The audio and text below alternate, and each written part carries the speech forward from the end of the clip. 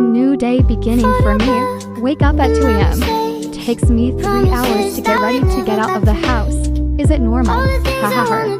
Hot shower early in the morning to refresh myself. Wake myself up completely. After that, have some hot tea in the same time doing my makeup. A big breakfast never miss. It's giving me full energy for a long day busy at work. So a big breakfast is very important to me. Has to be Asian food as I am an Asian. I love Asian breakfast because it has a lot of options to choose from. Always my favorite is rice.